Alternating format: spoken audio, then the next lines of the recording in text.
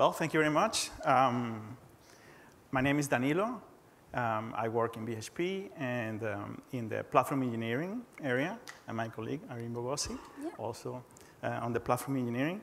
So we're going to talk about this, uh, and we're going to move forward very quickly, as, as, as quickly as we can.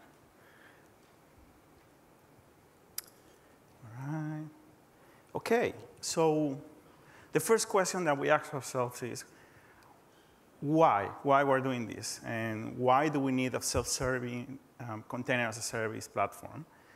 But then when we go to a company or an enterprise and we see these numbers around the develop that talks about the developer experience, specifically, you know, doing cloud builds, totally made up numbers. So uh, definitely, probably you won't see yourself reflected on that. And then if I need to migrate something, it takes me more than 80 days. And also, um, apart from that, then transitioning to ops, which means the infrastructure side, not only the application side, then you start to wonder, how bad is that for the complexity? And then how does that impact the acceleration of software, right? Software delivery. And then on top of that, you need to add also not only the frustrations for the developers, but also the kind of skills that those developers need to bring, they need to bring to the, to the table. And then how do you struggle as a company to find those skills in the market? Then the, thing, the thinking is, well, um, how does that impact the productivity of the company and uh, the software delivery on digital and data teams that need to use this, this type of infra infrastructure? So, well, when we saw these things, then we tried to figure out from the developer experience and the developer point of view on, well, what do they need? And we, we try to address this on, on this way, right? So we try to say, well, day, day zero, what does an, um, a developer, a software developer need, needs to know about its platform? How they need to deploy the platform? What's the architecture of that platform? And to be fair, yes, we do have today fully Kubernetes, fully managed Kubernetes services from the cloud providers, and they go from EKS to AKS, but also Fargate and some of the other ones. But even for those, the current state is, well, I need to deploy these things even using blueprints, but then I need to understand what the architecture looks like, right? I need to have that complexity in my mind. And then after I do that, then I need to go and say, well, I need to deploy my application. And that's day one. Can I deploy my application and then test it right away? But it's not only just having infrastructure. Also, I need to have, and any, as any big company, you have different network teams, different security teams that will need to check things for you. You need to do service requests to get that ingress going on so you can start testing, right? And once you get it up and running, guess what? Someone needs to manage it. If you don't, and probably you will have the budget, but do you have the skills to manage that as well? And everything adds on top. And once you get there, then you start thinking, well, now that I'm running, how do I scale? If I need to scale, how do I scale, extend this, and we'll talk about uh, a little bit later on wh where do we want to extend these things, but also how do I do it cost effectively by keeping my security posture at bay. And that's where my colleague Irene is going to talk about. Thank you, Danilo. Yes. So um, as uh, Danilo has been um, talking about, um, you know, the complexity of um, how do we um, manage, especially the containerization in um, enterprise.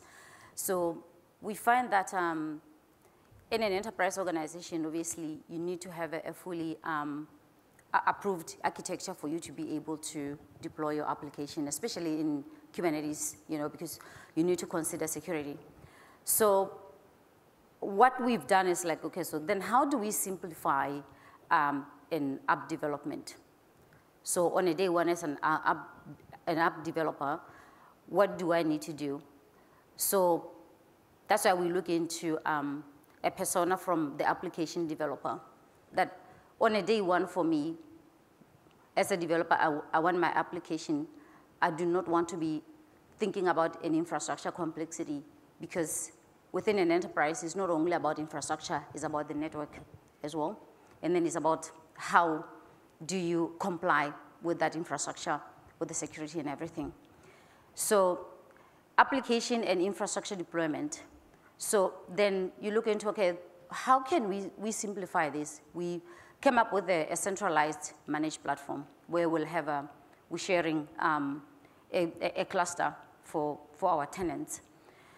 We simplified um, the way we onboard the customer. So on a day one, a customer will say that, okay, I would like to host my application on your platform. So they will request a Kubernetes namespace. So that will enable them um, the autonomy and the flexibility and speed because on day one, everything is already um, prepared for them. The infrastructure is vended, everything is there.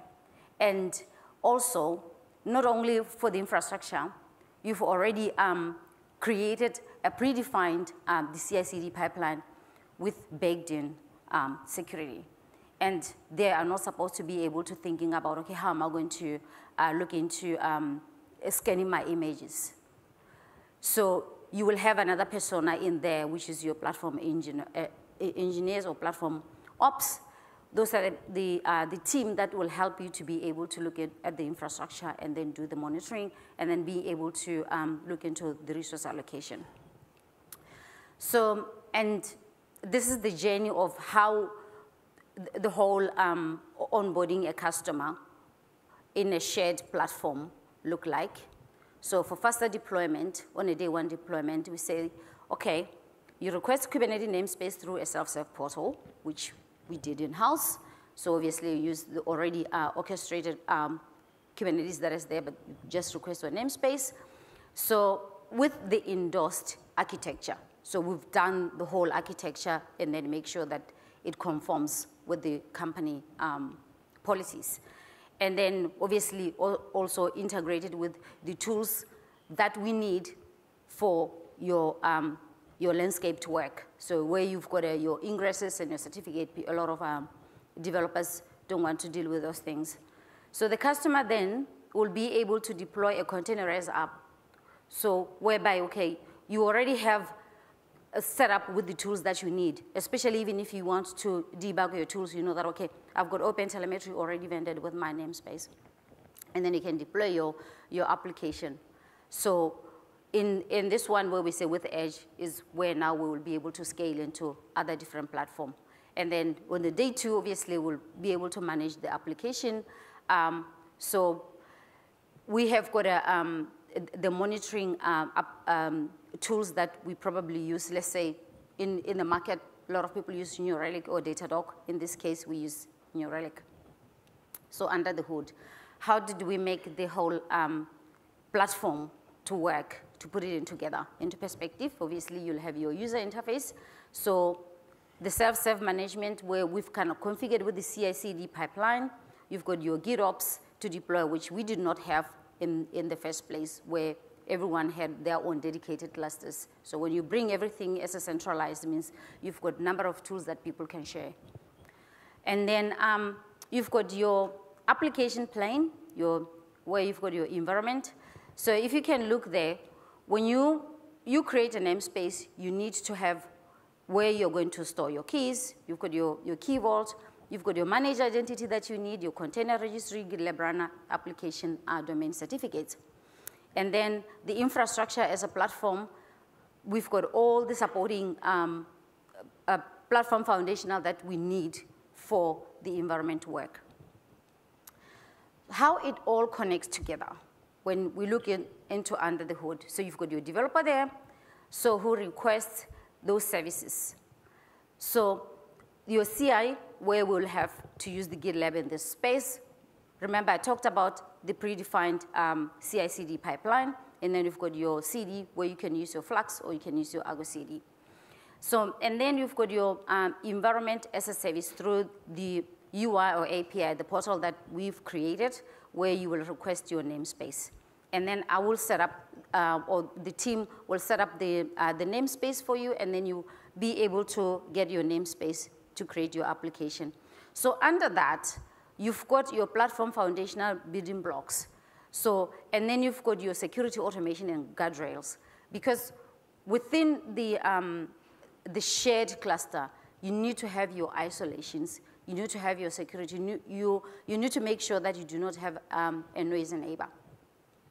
And in that case, um, when you've got your, your namespace in Kubernetes, we've connected it to a key vault, to your registry, to your managed identity, and then you can be able to get your logs, and then you can be able to debug your application. So this becomes easier for a developer on a day one that, okay, give me Kubernetes namespace, and then I'll create my application. So I'll give to my fellow colleague to continue and finish off. Thank you. So, and that's part of um, the idea, right? And the idea is also, I'm going to go back a little bit on this one. Let's see. The idea here is as well extending all of this and all these optionalities to deploy here through an API. Very similar to what we find with the, with the cloud uh, uh, providers. So the idea is that you expose these optionalities to an API that then the developer can have full control on how to deploy their environment and where do they do the, how they can extend. And that's part of the next, the next recommendation, right? And this is where we are trailing towards.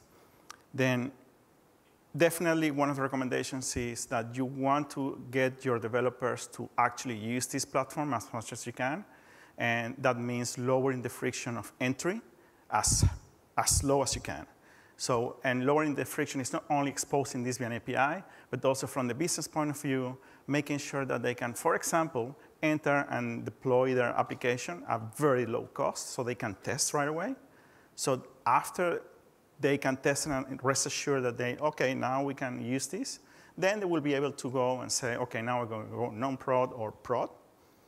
And once they go into the journey, then they will have the options on extending this to different locations now with the edge, um, the cloud edge um, options that we have today, which are very mature. Now you can actually use the Kubernetes underlying APIs and mechanisms and orchestration to actually extend this to the developers so that they can select the specific locations and specific ingresses, whether it's a global or a very location specific for latency requirements. Um, also, for prod environment, make it sustainable. And uh, there are different options. You can use um, location parameters, but also offer different compute options, but also use the affinity and affinity to orchestrate. But then one thing that we actually some, sometimes we miss is the use of centralized storage services. And what that, by that I mean is that you, every application needs a database on a storage. If they need to actually maintain that as well, that will affect the, uh, the gravity towards this platform. The idea is that you work with your storage services team and the database team to actually help them offer something similar at the storage level. And that has worked very well for us. Um, and now the developers have uh, access to a service catalog where they can have different options on compute, storage, and of course, networks as well. And that's the end of the story today. Well, Thank you very much for all of you. Thank you for the Cloud Native Foundation for having us.